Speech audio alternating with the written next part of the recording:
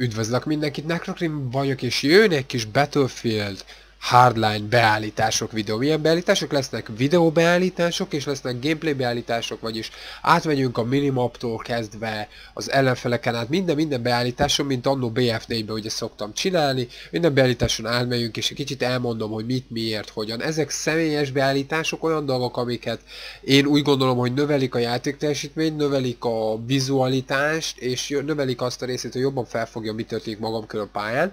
Fognak jönni általános hardline online tippek is majd későbbi videókban, csak most lekorlátozunk a beállításokra, ez lesz az első lépés afelé, hogy, hogy növeljük egy kicsit a játékélményt.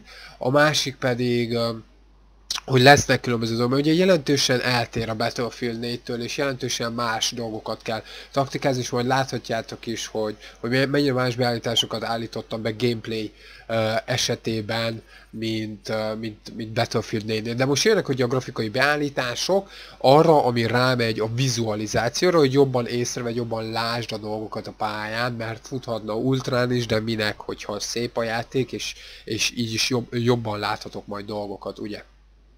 Brightness 70% mindig felveszem egy kicsit uh, a brightness, hogy jobban lássak, hogyha olyan sötétebb területre uh, érek, de igazából lehet, hogy nincs is rá annyira szükség itt.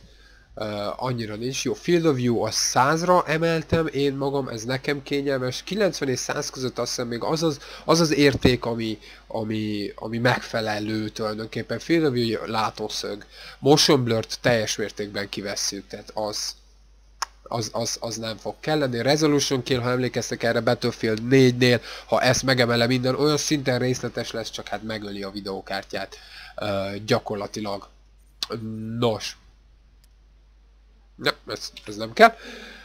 Uh, jöjjenek ugye ezek a beállítások itt a többi gyakorlatilag texture quality az ultra van nálam, texture filtering high, lighting quality a fények, iszonyat idegesítőek Battlefieldben, szép, csak idegesítő, low, FX quality, low, így is szép a robbanás, anélkül, hogy tudná, hogy milyen gyönyörűen tud égni még a tűz. Post-process medium, mesh quality medium, terrain quality high, azért, hogy jobban kirajzolódjon a karakter, maga a földrajzi domborzatok mögül, Terron Decoration low, ugye kevesebb fű, jobb láthatóság a csipáknak, Antilazing kétszeres elég, Antilazing Post low, Ambient Occlusion off, tehát ezeket a beállításokat raktam be magamnak jelenleg Battlefield Hardline-on belül videó szinten. Nos, uh, jöjjön a gameplay beállítások, gyakorlatilag a különböző tippeket, azokat mindig ben szoktam hagyni, amit azért uh, kiveszek az gyakorlatilag hol van. Enable Crash Reports az off, tehát ne küldözgetjön semmi hülyeséget gyakorlatilag. Share Usage Data az off, ezeket kikaptam, de jön a, ugye a lényeg az Advanced Options, és egy kicsit kilép tippek, mielőtt bármit itt csinálnék. Ha nézitek a minimapomat, ugye a bal sarokba, meg milyen nagy. És, és arra fókuszáltam a minimappal, hogy minél uh, kisebb területet lássak át részletesen, hogy miért fókuszáltam erre.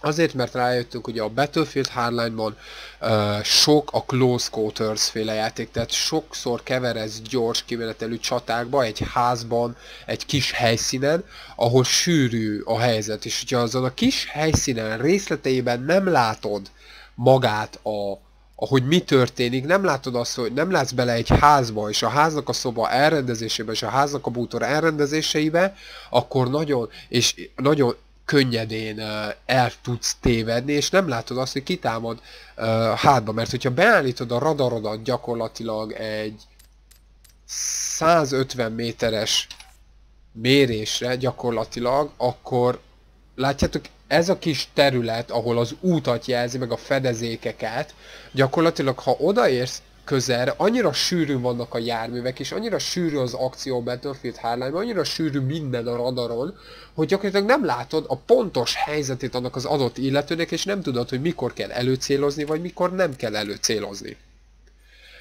És itt van a, az apró lényeg, hogy én szerettem volna, hogyha látom azt, hogy mikor kell pontosan előcélozni, pontosan azért, mert sok ilyen close quarters nevezetű csata fordul elő. Ezzel állítottam be a radar csak 50 méterre, a térkép nagyságát viszont felállított, felhúzta 160%-ra azért, hogy jó nagy legyen, és jól tisztán lássam, amit látnom kell.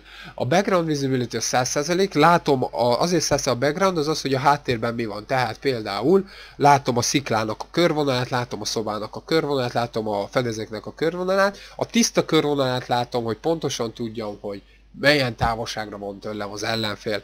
Az ikonokat 85%-ra vettem, azért 85%-ra, mert rengeteg ilyen villogó lőszerjelecske van, meg életjelecske van a térképen, és ezek nagyon 100%-os erősségen nagyon idegesítőek, és elveszik a figyelmemet gyakorlatilag a lényekről. Icon size, tehát az ikonok mérete maga 100%, meg is őrülnek, ha még nagyobb lenne gyakorlatilag. A játékbéli ikonok, szóval a méretük 60% igazából még kisebbre is venő, de 60% elegendő, a távolsággal növekszenek, Word Icons Visibility csak 15%-ra látszanak számomra, mert hogyha lövök, akkor nem szeretném, hogy semmi másra nem lőnék, csak az ellenfélre, hogyha zoomolok 15%-ra látszik ugyanúgy, gyakorlatilag ezt végül is vehetem egy 30 uh, százalékra, hogy lássam, hogyha foglalják az ászlónkat, vagy lopják a pénzünket, stb. stb.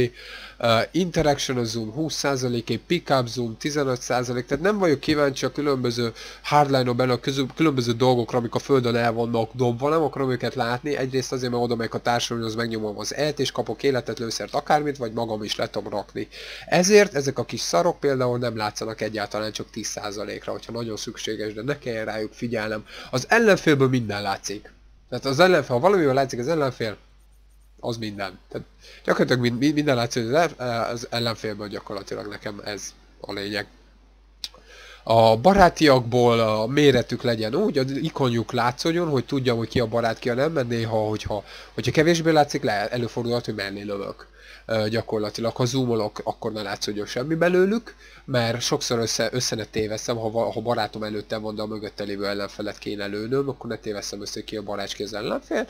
Nem érdekel, hogy mennyi az életük gyakorlatilag, ha rázumolok, akkor se érdekel, hogy mennyi az életük, ha valami olyasmi van, akkor fel tudom őket éleszteni, vagy bármi gyakorlatilag. A lényeg az, hogy ne zavarjanak bele a gameplay-ebben, ne zavarjanak bele a, a dolgokhoz, és ez egész úgy van összeállítva, hogy hard visibility 100%, hard size 100%, szóval ezek is be vannak kapcsolva. Szóval az egész úgy van összeállítva, az egész a vizualitásra menjen rá, és arra, hogy jobban felfog a körülötted lévő eseményeket. Nekem egyelőre ez vált be, aztán későbbiekben jöhetnek majd a, az ilyen taktikai átgondolások is a Battlefield hardline-nal, hogy megbe, átbeszélünk, átmegyünk a pályákon, hogy egy kicsit, hogy, hogy megértsük, hogy hogy néznek ki azok, és hogyan lehetne kihasználni, hogy az előnyünkre váljon, mert azért Hardline-ban egy kicsit macerább ez, mint Battlefield 4-ben, azt is majd ott kiderül, hogy miért. Ha tetszett a videó, ugorjatok el a csatornámra, még több Battlefield tartalomé, még több Call of Duty tartalomé, és mostanában kis Warframe